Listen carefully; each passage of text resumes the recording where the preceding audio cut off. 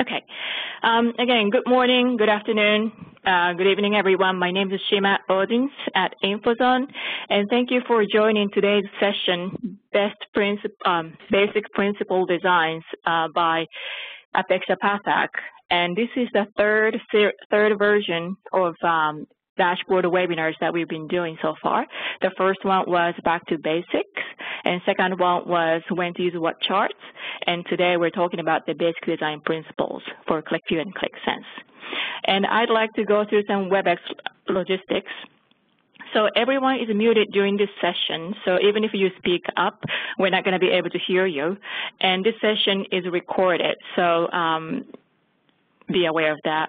And there is going to be a survey at the end of session, so please um, fill out the survey so that we get to know what other topics you'd like to hear about and so forth. And then at the end of the session, we have a Q&A chat panel for about 10 minutes. So if you have any questions, please utilize the Q&A chat panel and ask any questions live. That being said, I will pass it on to Apeksha Pathak. Apeksha? Thank you, Shima. Um, hi everyone, thank you for joining today's session and um, as Shima mentioned, today's session is about basic design principles for QlikView and QlikSense. So before I jump into presenting, I would like to introduce myself so that you know a little bit about my background. Uh, I'm a senior user experience designer at Infozone. I joined the company this year in June.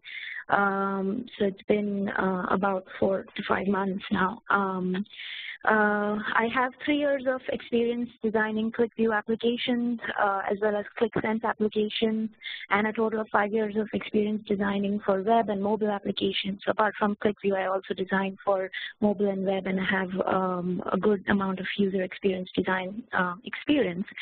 Um, uh, my uh, before in joining InfoZone, I used to work at Qlik as a UI designer, and I designed a lot of demos uh, that you might have seen on demo.qlikview.com. So uh, if you go there, um, you might see some demos designed by me. For example, ex expense dashboard, clinical pathways, uh, social media was the latest one. Um, apart from designing demos, I also did some best practices. So um, I did do some people enablement sessions like today's webinar over there, and I also have written some blog posts, so which you might see on the Qlik Design community or the QlikView Design blog in Qlik community.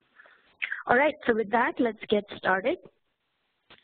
Um, so today's session is about the basic design principles that um, you will uh, use when you're designing applications in QlikView or QlikSense. So before, before I talk about the design principles, I want to take a step back and talk a little bit about why we are talking about basic design principles specifically for QlikView and QlikSense uh, versus basic design principles in general. So if you Google basic design principles, you'll come across a lot of uh, things like symmetry, hierarchy, um, and so on and so forth. But why, why are we talking about designing for QlikView specifically? And I think the answer lies in QlikView as a tool and the power of QlikView as a tool. And we as designers need to bring out that power. And QlikView, in the sense, is a very unique tool. So I consider it as a Rubik Cube. So uh, because when you choose a data point, you the software will dynamically adjust everything and um, uh, make you or show you the, the data which is all associated to that data point that you chose. And so I think it is a very nonlinear pattern um, whereas other applications or things you might have worked with, uh, the drill down pattern is very linear. So you go from A to B to C to D and so on. But whereas in QlikView, it's a very nonlinear dynamic tool. So for us as designers, we need to take this into consideration so that we show the power of uh, the tool in within our designs and we bring out that power. So our designs uh, make sure that the dynamic uh, elements in QlikView are put forth uh, through our designs. with that said and the basic knowledge of why we are talking about QlikView, I would like to talk about uh, some uh, uh, seven basic design principles that I have jotted down. And I call them basic design principles, but these really are considerations for you uh, to work with when you're starting to design in QlikView or starting to develop an application in QlikView. With that said, let's get started. The first thing that I want to talk about today is utilizing the power of visualization. Um, and you might have heard of the phrase that a picture is worth a thousand words. Well, research proves that we humans comprehend a picture much faster than text. So um, here on the screen, what you're seeing is the Anscombe's quartet, uh, you might have seen this before. Uh, if not, I'll explain a little bit about what it is. So you're seeing four sets of uh, X and Y quadrants. And in this table, you'll be able to see the X coordinate and the Y coordinate, and you'll be able to read through it and maybe visualize, okay, where, where does the point lie? But as soon as I show you a picture, you'll be able to see trends, anomalies, clusters, and so on. So visualizing data is much more powerful and easy than understanding data just by reading text or tables. And um, because we deal with a lot of data and showing that data in the form of visuals is very important because it takes it takes just a few matter of few seconds to just paint a picture in your mind that okay what's what's the what's happening in this uh, picture or what's happening with my data so QlikView is a very powerful tool in that sense. Uh, in my experience, I've seen a lot of people using QlikView uh, just like an Excel sheet, but um, that's the first rule, that QlikView is more than uh, just rows and columns and tables. It's, it's a very powerful data visualization tool. So here, if you see in this dashboard, in, in a matter of second, you'll be able to say, okay, my market share is going down. The pie chart tells me that. Uh, the market size, okay, in 2012 it was less, but in 2016 it was more. And then in the map, okay, I see what's going on in the world uh, with the market share. So imagine all this in the form of a table. It'll take you at least a couple of minutes to figure out what's going on. But with the visualization, in a matter of few seconds, you'll be able to say, okay, I get the picture now, and let's move on. So this is the first and foremost principle that I want to talk about, that whenever possible, use visuals instead of tables. Um, I know that a lot of times it makes sense, more, more sense to have tables, but whenever it makes sense to have visuals, use it. Use that power of QlikView. Use that power that the tool gives you. The second design principle that I want to talk about today is information organization. Um, so it, uh, information organization is a very important part of uh, what we do because we deal with so much data that it, it sometimes it becomes hard to um, organize that information in a proper way.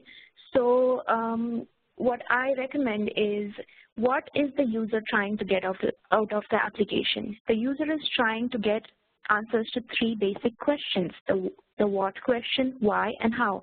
So what is the health of my business or what is going good, what is going bad? The second question is an obvious follow-up to the what question is the why. Okay, so I know that something is going wrong, and why is it going wrong? So let me investigate. And then the third question is how. So how can I drill down and investigate a little more deeper, or drill down a little more deeper? How can I do that? So this is how our brain works. So obviously our brain uh, processes information from the highest level to the lowest level. And um, leveraging this power of, of or aligning our uh, how we lay out information in the way our brain processes information is important. So uh, we have come up, or uh, Matthias Karnamark, who is a very senior member of the InfoZone team, came up with the concept of the DAR, which is the dashboard, analysis, and report. Um, and he uh, he designed this concept when he used to work at Qlik, and which is a very um, I think it's a very important concept uh, when it comes to QlikView because it's a lot of data, and sometimes we just get lost in how to organize that data. So what a dashboard means is that it answers the questions of what.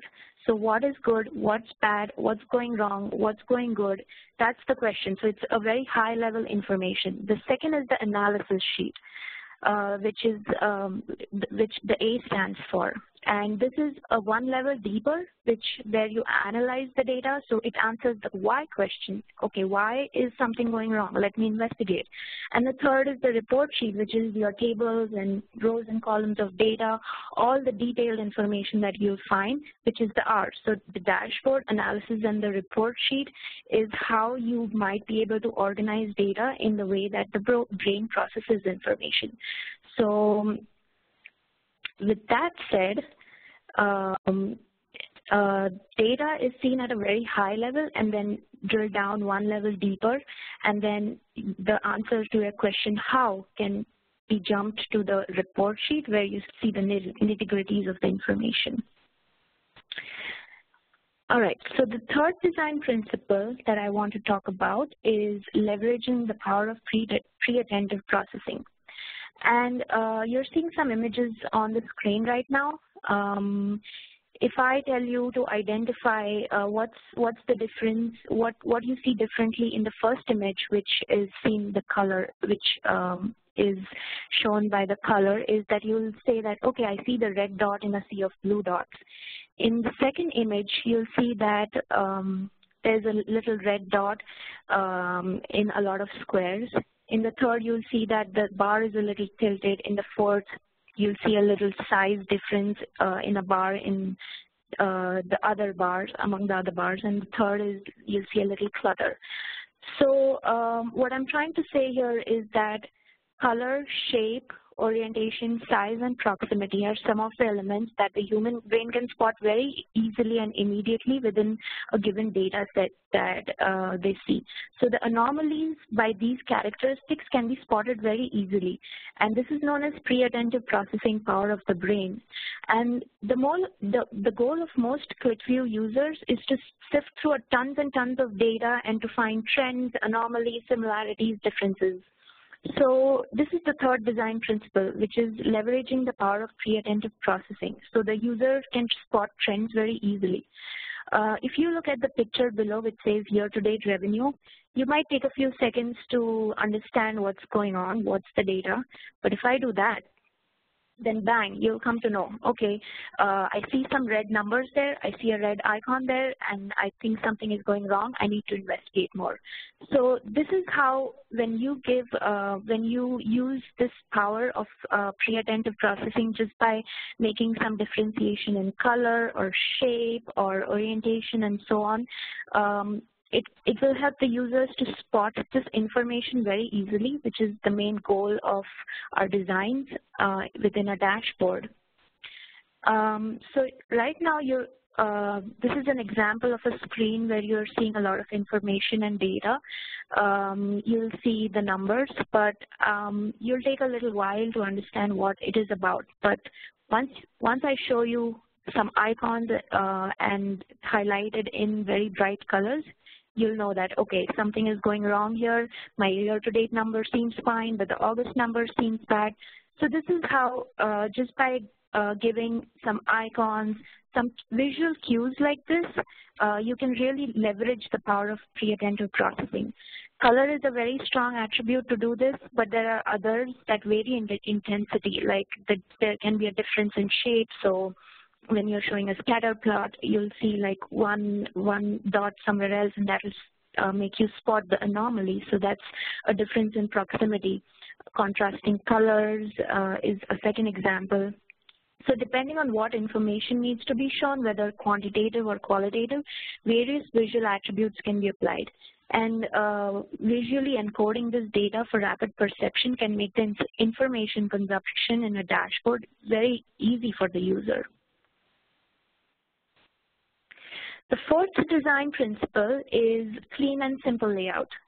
And as I said before, we all deal with a lot of data and we all want to accommodate a lot of data on the screen.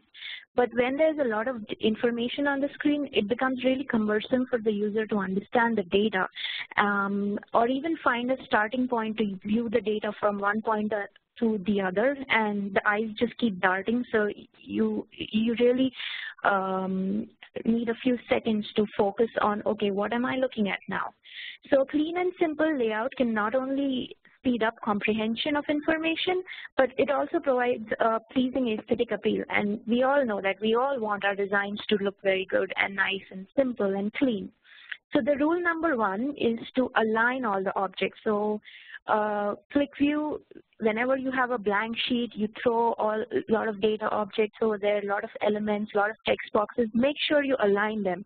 So right align, left align, center align, however you, you're based on your layout, just make sure you align them. The second is uh, more of a recommendation. Um, I usually use the 12 column um, or the 8, 12 column or the 18 column grid to align my objects and this is a very web uh, it's a web standard. So if you take any website online you'll, and lay this grid over it you'll see that uh, a lot of websites follow these pat, uh, grid patterns. So um, this will make it easier for you to align objects. Uh, when if you go on the web and um, you Google 12 column or 18 column grid, you can easily download this grid and uh, you can lay it over your QlikView application and then uh, align your objects in, the, in based on the grid. Now, obviously, these uh, this alignment and grid applies to QlikView, but when it comes to Sense, if you have uh, worked with Sense or are planning to work with Sense, you'll see that uh, they have given a grid already so that uh, they, you make sure that your elements are aligned and so on. But even then, with the grid, it becomes a little hard sometimes to uh, really align objects and make sure that uh, the objects don't merge into each other. So here are some recommendations for QlikSense. Um, so define your grid, whether you want to uh, uh, whether you want two columns or you want the filters on the left, right, or top, you want to define that first. Second is align the objects so that they are perfectly right aligned, left aligned, um, and so on. Uh, as much as possible, make sure that you have less objects on a given screen. Um, and then uh, the last and important thing is that you make sure you have at least one column and row distance between all the objects so that they don't look like they're merging into each other. So these are a few recommendations for QlikSense when you're de developing an application there. The fifth design principle is color. Now color is uh, a strong element in design. It's like a double-edged sword, I would say. It can really make or break the design. And a lot of uh, people, when it comes to colors, get very confused. So uh, a rule of thumb is to use not more than five colors in your color palette. A lot of times we deal with uh, our company brand colors and so on, so we don't have to worry about that. But when uh, when you're lost and you don't know where to start, the rule of thumb is don't use more than five colors. And my recommendation is use muted colors for uh, elements like backgrounds and so on, and use very bright colors like red, green to highlight data. Uh, Adobe Kuler is a very uh, nice website if you ever um, don't know or need some help in uh, defining a color palette for your application, go to Adobe Kuler, choose a color that you want, and then based on the color, it will give you a color palette, um, whether you choose an analogous or a monochromatic color palette. So this is a very good resource. The other very important thing about color is color accessibility. Um, I want to talk a, little bit about color blindness, which is a very important factor to consider when it comes to design. Uh, about 8% of men among our population are colorblind, so it's um, a big number, so to say, but you need to consider this. Um, and we tend to use a lot of green, red, and yellows in our design. So when it comes to colorblind person, this is how they'll see it. So you'll see that there's very little distinction between red and green, and it becomes very hard when a colorblind person sees it to really distinguish between, okay, what's going good and what's going bad. So a recommendation is when you're using red and green and when it becomes, um, when you're using traffic light gauges or so on, use a little greener shade of uh, or blue shade of green instead of a yellow green so that the colorblind person sees it as a gray and it becomes much easier to distinguish between the red and the green. Or the other recommendation is using icons. So icons make it very easy even for a normal person to spot uh, what's going uh, or the difference between good and bad or red on red and green. So make sure you have considered that our colorblind audience as well. The sixth is the power of contrast. Contrast, in my opinion, is a very powerful design element. It can really make the design speak for itself, which is the whole purpose of the design. So here, if you're seeing on the screen, um, you'll see that um, just by adding some contrasting color to some of the letters, the designer is trying to sh show or uh, show more than what the text is saying. So it's a very strong design element. And for us, especially when we are designing dashboards, we need to highlight some KPIs uh, to make them stand out from the rest of the information. So contrast allows us to, us to do that, so highlight the key design elements.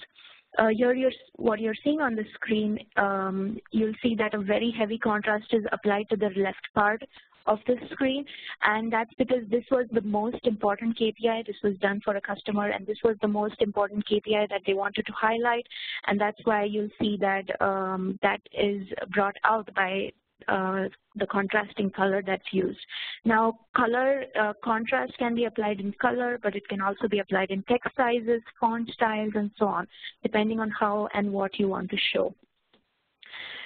The last and a very important design principle that I want to highlight today is consistency. Consistency is the simplest and the basic rule of design, um, and there's no two ways about it. Your designs have to be consistent. Your whatever you do have to be consistent throughout everything. So if you want your designs to look professional and coherent, you've got to maintain consistency.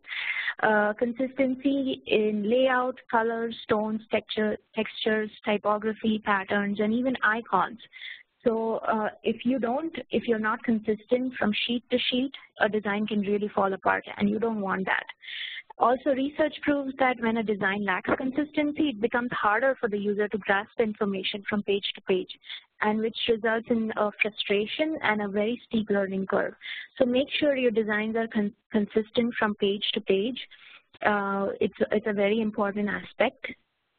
Um, also, consistency in all aspects of the design. So if you're using a color palette, make sure you're um, you're taking that color palette on every sheet. Or if you're using the search object on the top uh, right-hand side, make sure the search object is on the top, top right-hand side on every sheet. Don't, don't make it such that it's somewhere else because you couldn't accommodate it uh, where you had accommodated it in the sheet earlier. It will just take five seconds for the user to even um, search for that search that he or she will say, oh, it was just here, I can't find it anymore.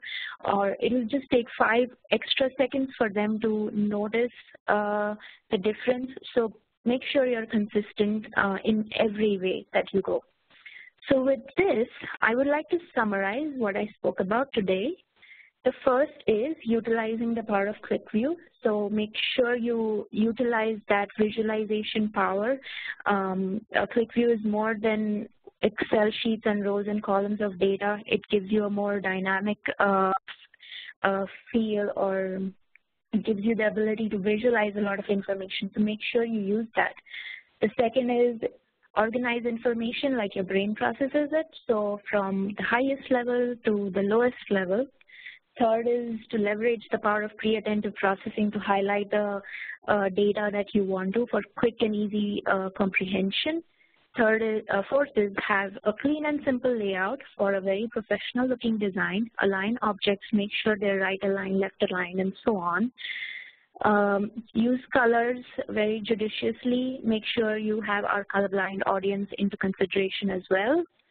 Uh, use the power of contrast to highlight key data elements in the dashboard. And the seventh is always be consistent with that, I would like to conclude this session and thank you for joining again. Uh, I hope this was useful for you and I hope you enjoyed the session. Um, I'll open it up for any question and answers today. Thank you.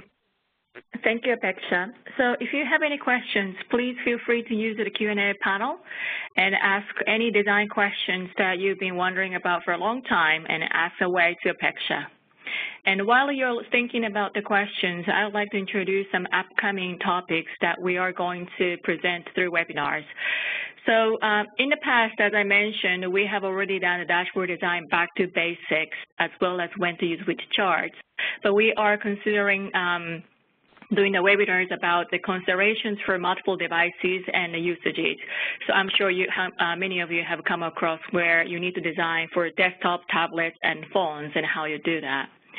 Um, another topic is how to pop the important messages. So this is applying to some dashboard five seconds rule, but how do you pop some uh, key elements? So that's going to be the session about it. And then the last one is the link table. And I don't know how many of you are aware, but Phil Bishop, who is the president of our company at InfoZone, he came up with this concept of link table.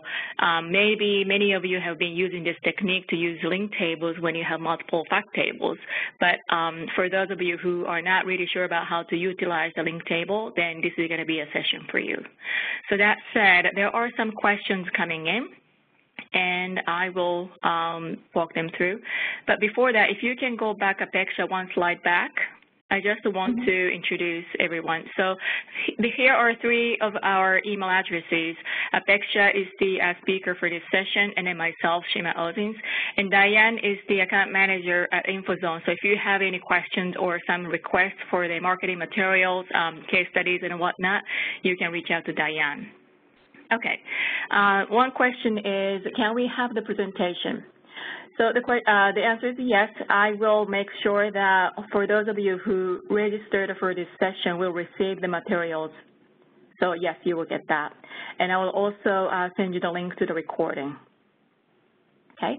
The next question is, there is a high demand to see the details on every KPI graphical presentation, for example, Excel and tabular data. How do you balance that while preserving real estate and the clean display of data.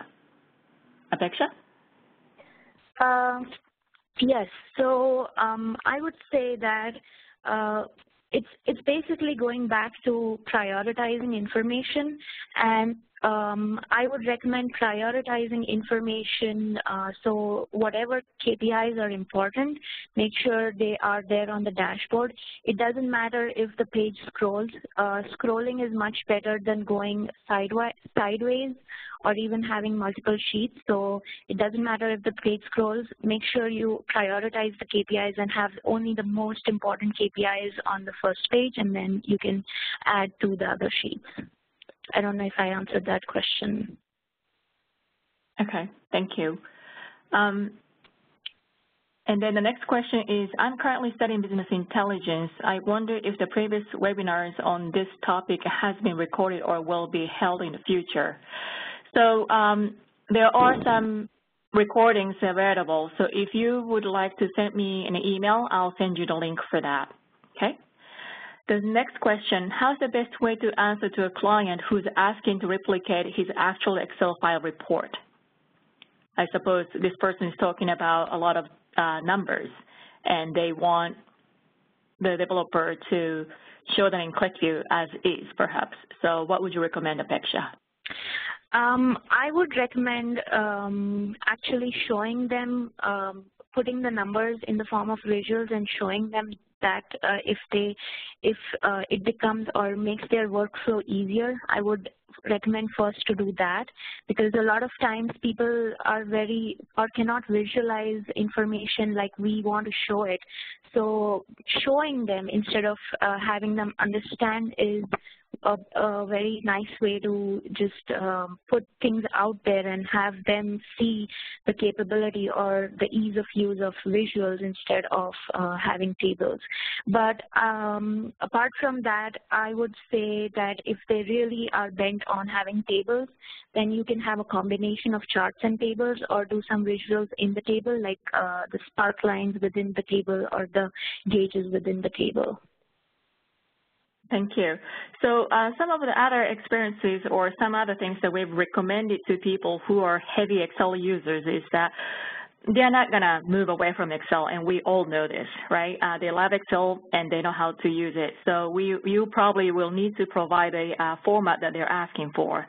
But as Apeksha was talking about, the visualization will show them the irregular items that you may be difficult to find in Excel.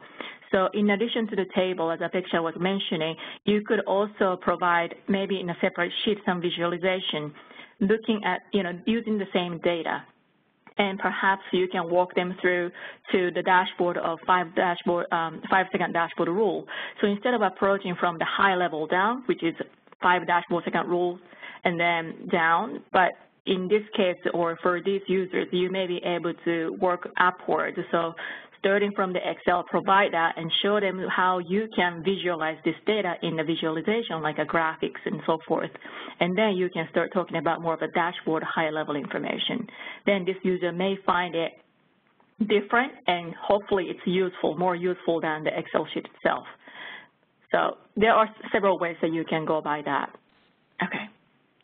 Um, Another question is, uh, can I get one of the old presentations? So send me an email address or send me an email, and then I'll provide you the old presentations. And I see some people saying that this webinar was very useful, so thank you very much. Another question that I have, and um, this is the last one. We're having some troubles to work with designing a user interface to select a date range, date range, like clicking a start date and the end date. Now we're using two calendar objects and triggers. Is there a better way? I'm not sure if it's a design question or a technical question, but uh, do you have any response, Apeksha? Um, I I thought it's more of a technical question. Yeah. Um, yeah. sure. I so, don't know. Um, no problem. So this could be more of a financial um, or things like that. So what I've done in the past is that instead of a calendar object, and I understand that some people like to use the calendar objects, but I found it a bit cumbersome in terms of, um, you know, if we are October 8th today, and if you want to look up for September 2nd, 2014, then calendar object is not really the best one because you, you need to go back and whatnot. So what I've done in the past is that I created two input fields and then let them type in. And typing in is basically something that you usually do for websites like Expedia and so forth. So I don't think it's that much of a cumbersome for the users, and it, the layout to become cleaner. So um, what I suggest is to use um, input fields more than calendar objects, but this is going to be really depending on the user request, I would say. I hope I answered your question. Okay. So that being said, um, let me see, I think one more message came up. Okay, great.